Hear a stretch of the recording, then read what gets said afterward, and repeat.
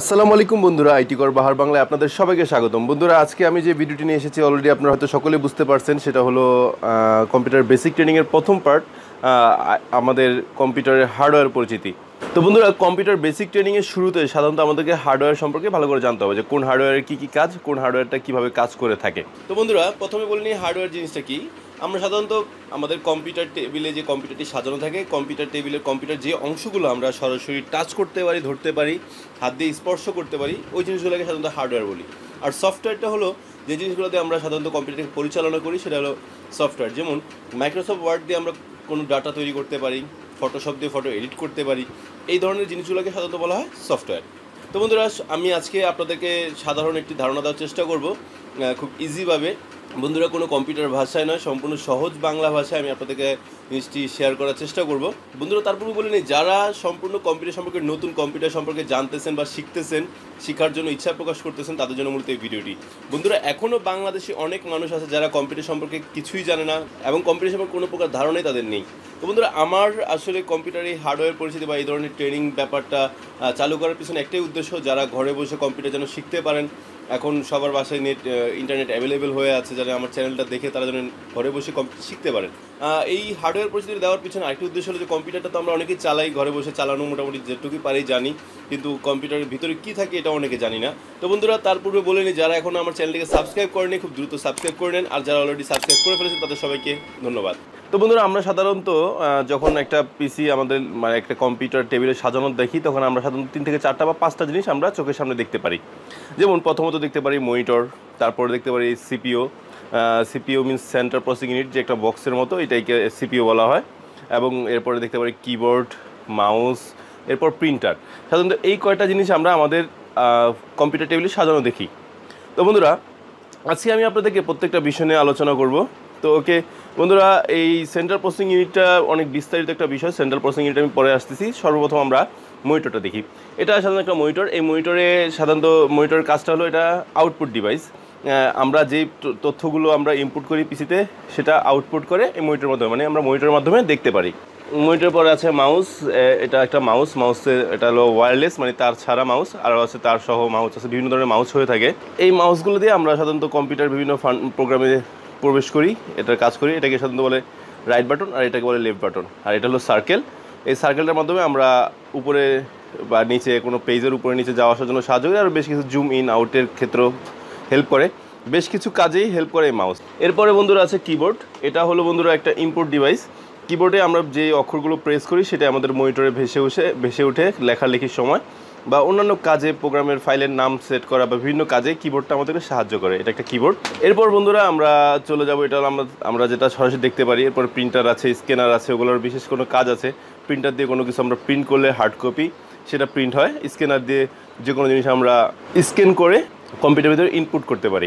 তো এরপরে বন্ধুরা আমরা চলে যাব সিপিও সেন্ট্রাল প্রসেসিং ইউনিট এটা হলো কম্পিউটারটাকে পরিচালনা করার জন্য যে একটা বক্সের ভিতর সব কিছু সাজানো গোছানো থাকে, এই বক্সের ভিতর কী থাকে, এই জিনিসগুলো নিয়ে আজকে আমি আলোচনা করব।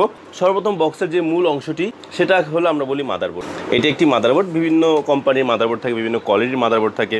এই মাদারবোর্ড নিয়ে আমার একটা পূর্বে ভিডিও দেওয়া আছে মাদারবোর্ড পরিচিতি আপনারা ওটা দেখে নেবেন। আমি নিচে ডিসক্রিপশন বক্সে সেটা লিঙ্ক দিয়ে দিব। তাহলে মাদারবোর্ড সম্পর্কে আশা করি মোটামুটি একটা ভালো ধারণা আপনারা পেতে পারেন। তো এরপরে আছে পিসিও মানে পাওয়ার সাপ্লাই ইউনিট এই পাওয়ার সাপ্লাই ইউনিটটা হলো কম্পিউটারের আরেকটি খুব গুরুত্বপূর্ণ অংশ। এই পাওয়ার সাপ্লাই ইউনিটের মাধ্যমে আমরা পিসিতে পাওয়ার সাপ্লাই পেয়ে থাকি মানে আমাদের কম্পিউটারটি পরিচালনা করে। পাওয়ার পায় সম্পূর্ণ পাওয়ার এই পোর্টটির মাধ্যমে মাদারবোর্ড পাওয়ার পেয়ে থাকে। এবং মাদারবোর্ডের গ্রাফিক্সটি পাওয়ার পায় এই পোর্টটির মাধ্যমে। বন্ধুরা, এই পোর্টটির মাধ্যমে হার্ড ডিস্ক এবং সিডি রোম পাওয়ার পেয়ে থাকে। আগের হার্ড ডিস্ক এবং সিডি রোমগুলো যেগুলো আইডি পোর্টে ছিল, ওগুলা এই পোর্টটার মাধ্যমে পাওয়ার সাপ্লাই পেয়ে থাকে না আই এখন সাতা পোর্ট কি বা আইডি পোর্ট কি আমরা আপনাদেরকে পরে দেখাবো। তো বন্ধুরা, এটা হলো আমাদের পিসিউ পাওয়ার সাপ্লাই ইউনিট সম্পর্কে আপনাদেরকে বললাম। ওকে, এটা আমরা একটু পাশে রেখে দিই। এরপর আছে আপনার যেটি খুব মাদারবোর্ডের সাথে খুব ইম্পর্টেন্ট একটা জিনিস, সেটা হলো আমাদের হার্ড ডিস্ক তো বন্ধুরা হার্ড ডিস্ক এখন বিভিন্ন ধরনের পাওয়া যায়। আপনারা জানেন এম ডট টু এসএসডি তারপরে এটা এটা ছিল পূর্বের হার্ড ডিস্ক এই হার্ড ডিস্কটার আগের ইয়াটাই ছিল, প্রথম দিকে যেগুলো ছিল, সেগুলো ছিল আপনার আইডি পোর্ট এই যে পোর্টটা দেখতে পারতেছেন, এটা হলো সাটা পোর্ট এটা খুব মানে ইজি আর আপডেট করা হয়েছে, আধুনিক করা হয়েছে। আর আইডি পোর্টটা ছিল অনেক বিশাল, অনেকগুলো পোর্ট থাকতো। বন্ধুরা সাটা পোর্টের হার্ড ডিস্কটি হলো এরকম যে, এটার পোর্টটা থাকে এই ধরনের। এখন এসএসডি বিভিন্ন ধরনের আছে। এসএসডিগুলোতে সাটা পোর্ট দেওয়া থাকে, কিন্তু আপনার যেগুলা এম ডট টু ওগুলোতে সাটা পোর্ট বা এই ধরনের কিছু দেওয়া থাকে ওটা সরাসরি মাদারবোর্ডে কানেক্ট করা হয়। আর বন্ধুরা আইডি পোর্ট আইডি পোর্ট হলো যে এরকম, বন্ধুরা দেখতে পাচ্ছেন বিশাল একটি লেভেল ইয়া দেওয়া থাকে, দেখতে পারতেছেন, অনেক লম্বা। এখানে আইডি পোর্টে লাগানো হয়, আর আগের পাওয়ার সাপ্লাইটা পোর্টটা ছিল এটা। আর বর্তমানে হার্ড ডিস্কের পাওয়ার সাপ্লাই পোর্টটা হলো এইটা এইটা, লম্বাটা। ওকে তো আমরা এটার মাধ্যমে পাওয়ারটা সাপ্লাই দেওয়া হয়ে থাকে। বন্ধুরা হার্ড ডিস্ক যেটা মানে হার্ড ডিস্কের বিষয়টা বলে নিই হার্ড ডিস্ক নিয়ে আমরা ভবিষ্যতে হয়তো বিস্তারিত বা ডিটেলস আলোচনা করব। হার্ড ডিস্কের ভিতরে আপনার সকল ডাটা সংগ্রহণ করা থাকে এবং আমরা যে উইন্ডোজটি চালাই উইন্ডোজ অপারেটিং সিস্টেম সেই অপারেটিং সিস্টেমটিও আপনার এই হার্ড ডিস্কে ইনস্টল করা থাকে। ওকে এরপরে বন্ধুরা আছে র্যাম এটাকে বলে র্যান্ডম অ্যাক্সেস মেমোরি র্যামের full meaning random access memory বন্ধুরা, এই মেমোরিটা মানে এই র্যাম আমাদের কম্পিউটারের ডাটাগুলোকে প্রাথমিকবার যে, প্রাথমিকভাবে এনে এটা কাজ করে, এটা সবসময় মানে এটা আমাদের কম্পিউটারকে পরিচালনার ক্ষেত্রে সাহায্য করে। এটার আবার স্পিডটি ডিপেন্ড করে, আপনার বাস স্পিডের উপর ডিপেন্ড করে। যেমন তেরোশো তেত্রিশ আছে, আটশো পঞ্চাশ আছে, ষোলোশো বাস আছে, চব্বিশশো বাস আছে। এরকম বিভিন্ন বাসের র্যাম পাওয়া যায়। বর্তমানে ডিডিআর থ্রি ডিডিআর ফোর এই ধরনের বিভিন্ন ক্যাটাগরির র্যাম পাওয়া যায়। তো বন্ধুরা, আমি এটা যেহেতু একটা সাধারণ র্যাম এটা একটা ডিডিআর থ্রি তেরোশো তেত্রিশ বাসের একটি র্যাম টু জিবি ওকে এটা ফোর জিবি হয় এইট জিবি হয়। এখন আমি দেখাবো আরও একটি গুরুত্বপূর্ণ বিষয়, সেটা হলো প্রসেসর এই প্রসেসরটির মাধ্যমেই আপনার পিসি পরিচালিত হয়। এখন প্রসেসরের বিভিন্ন কোয়ালিটি আছে, যেমন dual core core two duo core i three core i five core i seven তো আমরা এই ধরনের বেশ কিছু প্রসেসরের নাম শুনে থাকি। তো এক একটা প্রসেসর এক একটা কাজ আছে। তো প্রসেসর নিয়েও আমি পরবর্তীতে আলোচনা করব। ওকে প্রসেসরটি আমরা মাদারবোর্ডের এই অংশে ফিটিং করা হয়। ওকে প্রসেসরের উপরে এরকম একটা পাখা থাকে, পাখাটার মাধ্যমে প্রসেসরটাকে কুল করা হয়। যেহেতু প্রসেসরটি আমাদের সম্পূর্ণ পিসিটাকে পরিচালিত করে, তাই প্রসেসরটাকে ঠান্ডা রাখতে হয়। এটা অনেক গরম হয়ে যায়। আর বন্ধুরা সাটা পোর্ট বলেছিলাম, এটা হলো সাতা পোর্ট এটার মাধ্যমে মাদারবোর্ডের সাথে আমাদের হার্ড ডিস্ক বা ডিভিডি রাইডারের সংযুক্ত করা হয়। এটার মাধ্যমেই ডাটা ট্রান্সফার হয়ে থাকে সাধারণত। মাদারবোর্ড ডাটা ট্রান্সফার করে থাকে। এরপর বন্ধুরা, একটি ইনপুট আউটপুট ডিভাইস আছে আরেকটা, সেটা হলো আপনার সিডি রোম বা ডিভিডি রোম রিড এবং রাইট দুইটাই করা যায়। ডিভিডি রাইটার যেটা, সেটা রিড এবং রাইট দুইটাই করা যায়। তো এটা বন্ধুরা, মূলত একটা ডিভিডি রাইটার এটা আমরা সিডি এবং ডিভিডি দুইটাই কাজ করে থাকি, এটা অনেকে সিডি রোম হিসেবে চিনে থাকেন। নো প্রবলেম তো বন্ধুরা, আশা করি আমি আপনাদের সকল ব্যাপারটা বোঝানোর চেষ্টা করেছি।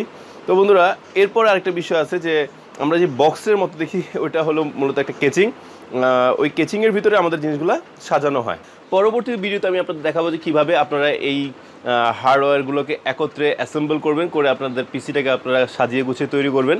এবং আপনারা পিসিটিকে পরিচালনার জন্য উপযুক্ত করে তুলবেন।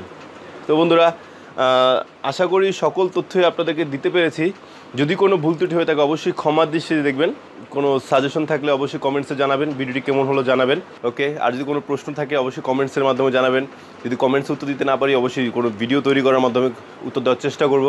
আর যদি ভিডিওটি উপকৃত মনে হয়ে থাকে, অবশ্যই বন্ধুদের মাঝখানে শেয়ার করবেন। তো বন্ধুরা, ধীরে ধীরে আমি আরও অনেক ভিডিও ছাড়বো যে ভিডিওগুলোতে আপনারা কম্পিউটার সম্পর্কে ভালো ধারণা নিতে পারবেন। ঘরে বসেই কম্পিউটার শিখতে পারবেন। তো সেই পর্যন্ত সকলেই ভালো থাকবেন। আল্লাহ হাফিজ। আসসালামু আলাইকুম রহমতুল্লাহ।